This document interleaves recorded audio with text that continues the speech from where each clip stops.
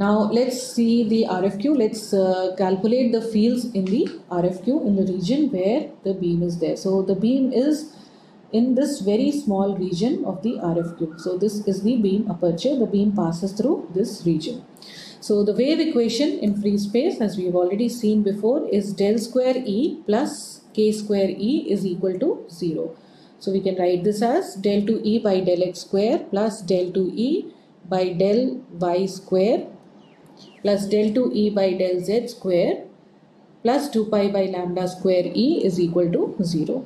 So in the RFQ, the displacement of the electrodes from the axis is very small as compared to the RF wavelength. So we can see that uh, the region in which the beam is there. So uh, if you see the displacement of the vanes from the axis, this is very small as compared to the RF wavelength.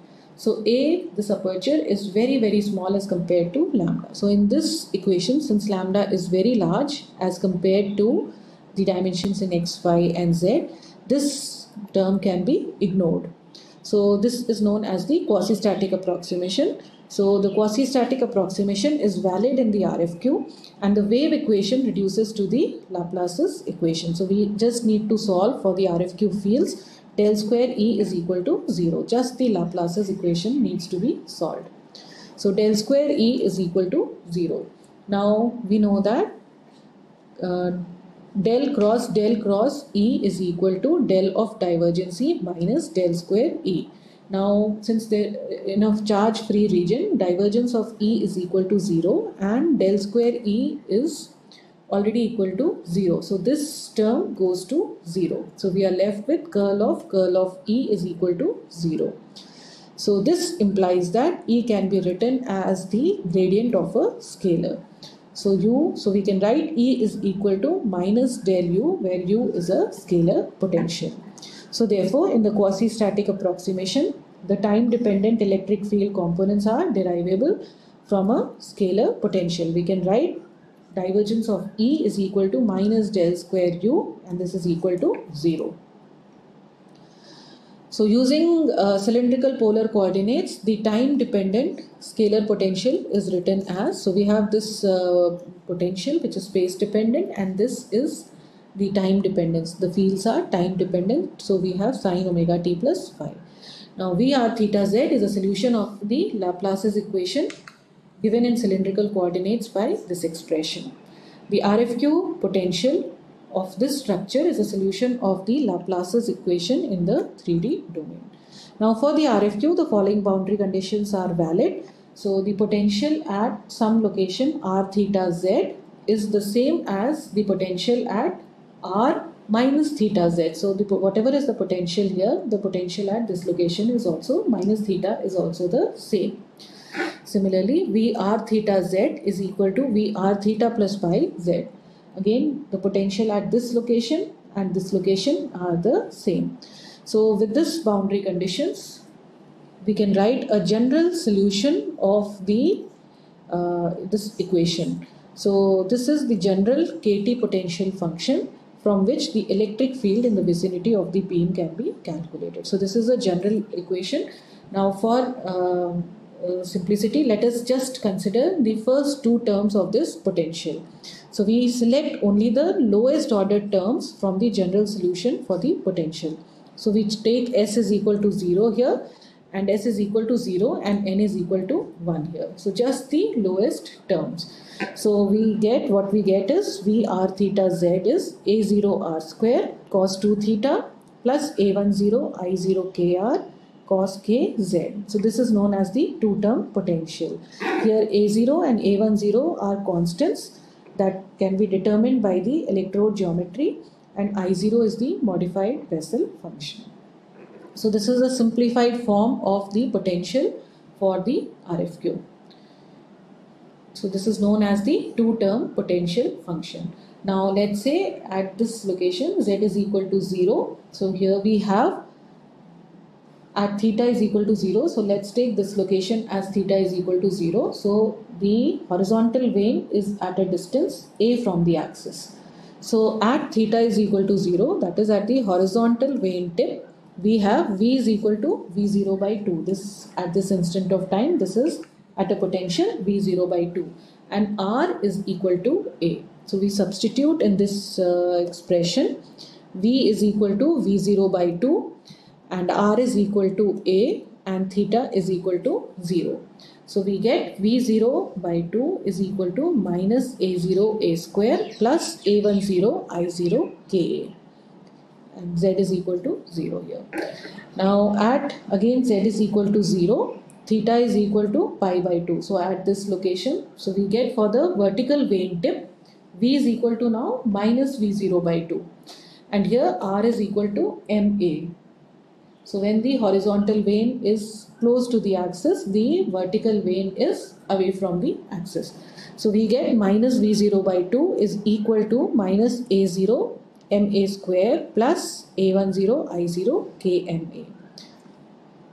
So from here we can solve these two equations and find out the values of the two constants A0 and A10. So simplifying, we get the value of A0 which is V0 by 2a square I0 Ka plus I0 Kma divided by m square I0 Ka plus I0 Kma. Similarly, A10 is V0 by 2 m square minus 1 m square I0 Ka plus I0 Kma.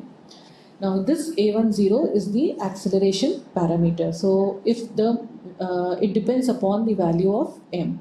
If modulation is equal to 1, so that means both the horizontal vane and the vertical vane are equidistant from the axis.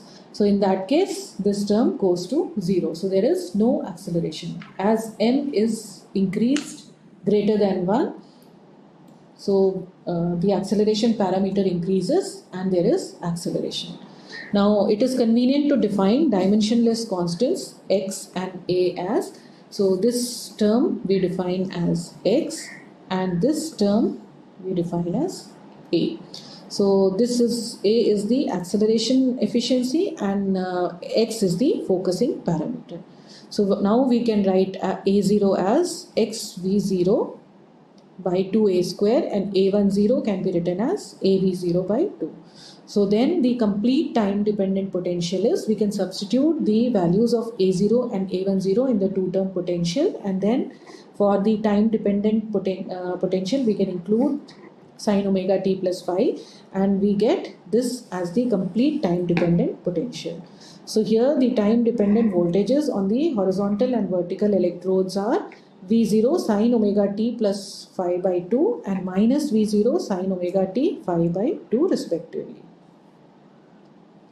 So this is the complete time dependent potential where x is given by this this is the focusing parameter and a is given by this this is the acceleration parameter. So in Cartesian coordinates now x can be written as r cos theta and y is r sin theta. So if you substitute x and y here uh, in place of r we get this expression in terms of Cartesian coordinates. So uh, now electric field can be found from the expression E is equal to minus del U. So uh, differentiating this we, we can calculate Ex, Ey and Ez. Now Ez is responsible for acceleration and in Ex and Ey we see there are two terms. So the first term uh, is responsible for focusing or defocusing. So we know that it, since it's a quadrupole, so it will focus in one direction, defocus in the other direction. So you see that the first term in Ex and Ey, they have opposite signs. So if it is focusing in the x direction, it is defocusing in the other direction. And then the second term is due to the modulation. So here the z term, it is in the z direction and this, uh, it, it includes the z uh, uh, variable and this causes defocusing in the transverse direction. So as we have already seen earlier that uh, the RF field causes some defocusing in the uh, transverse direction. So EZ component provides the accelerating force on the beam. The first term of EX and EY is associated with quadrupole focusing and the second term leads to transverse RF defocusing force that acts on the beam when the phase phi is chosen for longitudinal focusing. So when uh, phase phi is chosen for longitudinal focusing, it should lie between 0 and minus pi by 2. Now vane geometry. So how is the vane modulated in the z direction? So geometry of the electrodes is specified from the equipotential surfaces that are at a potential. So transverse cross sections are approximately hyperbola. So you can see from here the transverse cross sections are approximately hyperbola. So you can always approximate it um, in order to reduce the peak surface fields and for ease of fabrication. Now at z is equal to beta s lambda by 4 that is halfway through the unit cell. The RFQ has exact quadrupolar symmetry and the tips of the x and y electrodes have radius equal to r0 is equal to a under root uh, a divided by under root of x. So in practice, the electrode contours must deviate from the ideal shape to control the peak surface field and to facilitate machining. However, at the tips, that is at theta is equal to 0 and pi for horizontal electrodes and at pi by 2 and 3 pi by 2 for the vertical electrodes. So these can still be chosen to correspond to the correct equipotential of the two-term potential function. So at the tip, uh, the x tip is that y is equal to 0. So this is given by, you can put this as equal to 1 is equal to x by a square x square plus a i0 kx cos kz. So this will give you the profile in x and z direction. Similarly for the y tip x is equal to 0 and we get minus 1 is equal to minus x by a square y square plus a i0 ky cos kz. So this will give you the profile of the vane in the YZ direction. Okay, so this uh, this RFQ, these vanes are in a cavity. It is we utilize the electric fields of the electromagnetic waves in a cavity. So the vanes are placed inside a cavity and the operating mode in the RFQ is a TE210 like mode. So we'll try to understand the mode in the RFQ. So when I say TE210 like mode, remember the TEMN0 mode cannot exist in a cavity. So we, will see how this type of mode is generated and why it is called a TE210 like mode. It's not a TE210 mode, it is a TE210 like mode. So let's first analyze the transverse direction. So let's consider a TE21P mode. so this is the variation in theta direction. So two full period variations of the fields in the theta directions and this is one corresponds to the variation in the radial direction. So, so this is the TE21P mode. So if we plot ER with theta from 0 to 2 pi. So let's start from this point. This is point 1. So we see here that the radial field is 0. So here there is no field in the radial direction. The field is all in the theta direction. Now as we move from here to here at point 2, the field radial field is maximum somewhere here and then again goes to 0. So the radial field is maximum somewhere here and at point 2 it goes to 0. Again as we move ahead, the radial field is maximum at this location in the opposite direction and it is going to 0 at point 3. So again at point 3 it is 0. In between it was maximum but in the opposite direction. Again as we move from point 3 to point 4 we can see that the electric field is uh, the radial component of electric field is 0 at this location but in between it was a maximum. So again like this and then as we go from point 4 to point 1 again the field is 0 again at point 0.1 and then maximum somewhere in between. So this is if we see the variation in ER in theta from 0 to 2 pi. So we see that there are two full period variations in the field in the field. So this corresponds to m is equal to 2. Now if we see the variation of BZ field, so we will have a BZ field here a BZ field here, a BZ field here and BZ field here. So if we see, so it is coming out of the screen. So the BZ field, if you see the variation with, uh, with R from 0 to RC, we see that the variation is like this. So there is one 0 in the field at r is equal to 0 but this is not counted so since there are no more zeros n takes the minimum value that is n is equal to 1 so in a TE21 type of mode in a cavity, the fields are as if in a electric quadrupole. So you can see that the fields are as if in a electric quadrupole. It is as if this is at a positive, this point is at a positive potential, this point is at a negative potential. Again, this point is at a positive potential, this is at a negative potential. So the fields, field lines are originating from the positive potential and moving towards the negative potential. So this is like the fields are as if in a electric quadrupole. Now if we introduce vanes in this region, so this positive potential here shifts to because uh, the electrodes will be equipotential. So this uh, positive potential shifts to this surface here. So we have introduced now vanes here. So we have this at a positive potential, this is at a negative potential, this is at a positive potential and this is at a negative potential. Now by introducing the four poles or vanes in the cavity, the quadrupolar electric field becomes more concentrated near the axis. So in this region, the field becomes more concentrated. So you can see here, in this region near the axis, near the where the beam will go through. So the field has become, this quadrupolar field has become more concentrated in this region. Also now because you have put in a vane, they provide a surface that can be modulated to produce the longitudinal electric field.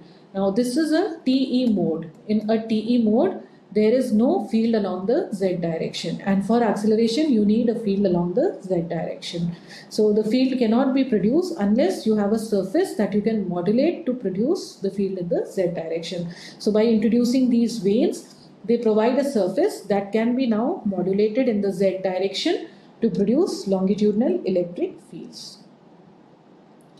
So we have seen that a mm-hmm. TE210 mode cannot exist in the cavity because if P is equal to 0 then Bz this implies that Bz is constant along Z from 0 to L. So let's say we have a cavity here of length L. So a TE mode means we have a Bz field like this. So and Bz is P is equal to 0 so Bz is constant.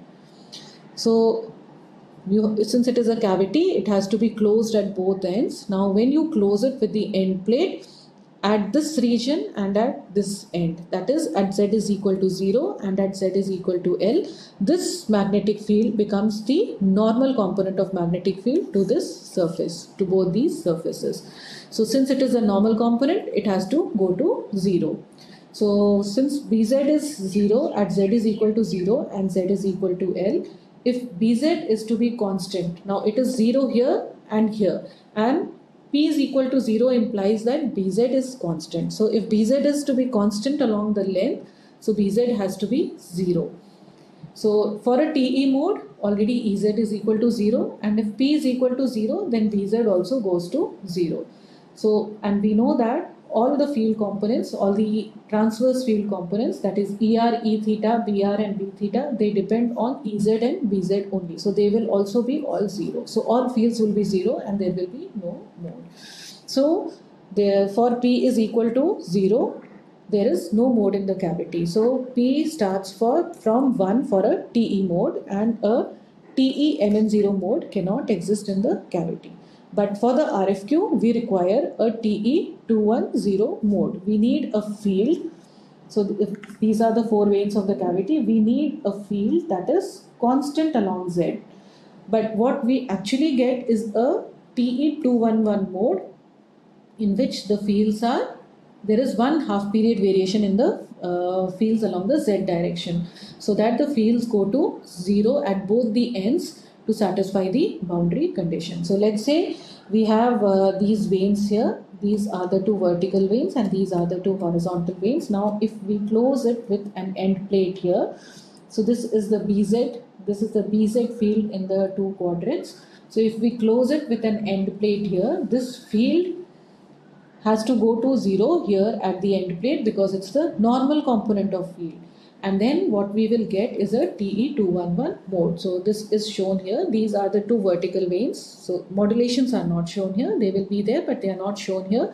So these are the two vertical vanes. This is the bottom vane. This is the top vane. This is the beam axis. Now if you close it with a end wall at this region here, this is the normal component and hence the magnetic field has to go to zero. Now we want a field which is which should not vary like this, it should be flat. Because if this field is flat, if BZ field is flat, the fields generated, the EZ component generated here will also be um, flat here. So it will in all the quadrant, in all the um, cells, it will be, it will have the same uh, magnitude. So what can be done is that the uh, so uh, the vane is not directly terminated at the end wall. Instead some space is left between the vane and the end wall. So there we leave a space between the vane and the end wall. And in addition provide some undercuts in the vane. So undercuts are provided in the vanes in the end region to allow magnetic field lines to bend and pass over to the next quadrant. So the magnetic field lines are coming like this. Now since they do not see the end wall immediately, they do not go to zero. Instead, there is some space between the vane and the end wall. So the magnetic field lines can bend over and pass over to the next quadrant. So this magnetic field line, it comes here. Now there is a space between the uh, vane and the end wall. So there is some space here so they can bend over and move on to the next quadrant like this. So here when they bend over, this magnetic field is the uh, uh, so it is not the normal component of magnetic field. It is uh, so it is allowed. This component of magnetic field is allowed.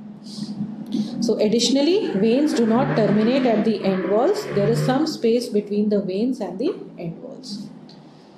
So if you see the cross section at the end so these are the four vanes and uh, there is some space between the vanes and the end wall. So magnetic field lines are coming like this and then they turn over the vanes and move into the next quadrant. Similarly, uh, they turn over this vane and move on to the next quadrant.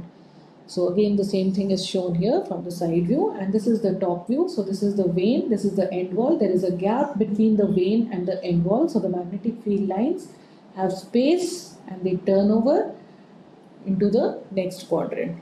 So by providing undercut in the vane at the end region of the RFQ, the TE211 mode is modified into a TE210 like mode. So in a TE211 mode, field was like this. Now here the because of providing this undercut, the field, the Z component of the field still goes to zero here. But in the center region, it is more or less flat like a TE210 like mode. So that is why it is known as a TE210 like mode. So in general in the RFQ the TE211 mode is modified into a TE210 like mode. So this is the picture of the RFQ. So you can see here these are the four vanes and uh, so there is an undercut provided here which you can see here. So the magnetic field line in this quadrant will be like this so it comes here and there will be an end plate here but there is a gap between the vane and the end plate. So the magnetic field lines will bend over and pass over to the next quadrant. Bend over and pass over to the next quadrant. So this shows the top view here. So this is the magnetic field lines. They bend over and pass on to the next quadrant.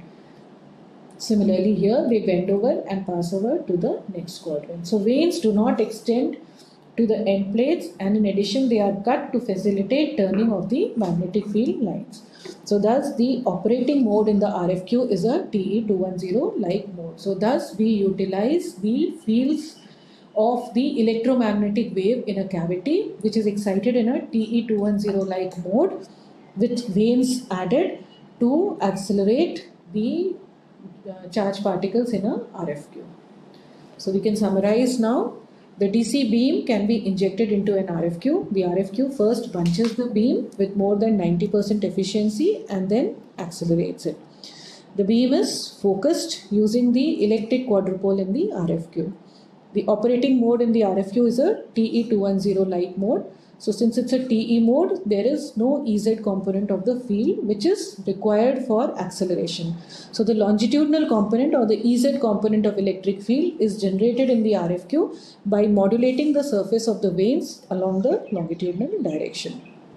The RFQ is a RF linac that can efficiently bunch, focus and accelerate low energy beam. So it does all the three functions. It bunches the beam, it focuses the beam and it can accelerate the beam at low energies. So it is particularly useful for high current beams because the quadrupole focusing in the RFQ is there throughout the length of the RFQ. So it's particularly useful for focusing high current beams where space charge effects are high. so uh, let me just speak about the LEHIPA accelerator at uh, BRC, which is the front end LINAC for the Indian ADS system. So as we saw in the first lecture, the accelerator driven system needs a high intensity, high current accelerator. So typically of energy is 1 GeV. So this uh, uh, this proton beam goes and hits a spallation target and lots of neutrons are produced. So they, and then there is a uh, reactor, a nuclear reactor, reactor which is subcritical. So subcritical means it is deficient in neutrons. The additional neutrons required to sustain the chain reaction in this subcritical reactor is then provided by this accelerator. So for such an accelerator, so it is planned to build this accelerator in three phases and the first phase of it, LEHIPA, is being built at BRC. So this is a 20 MeV proton LINAC. So it consists of an ion source, and then there is an RFQ. So the ion source accelerates, uh, so ion source gives beam of 50 keV. Then the RFQ accelerates it to 3 MeV and then followed by a DTL which accelerates it to 20 MeV. So in between there are solenoid magnets here for focusing the beam uh, before the beam enters into the RFQ and then there are quadrupole magnets to focus the beam in between the RFQ and the drift tube. So here is the picture of the uh, LEHIPA BRC. So there is an ion source here which is not seen. Then this, there is an RFQ. This is the RFQ.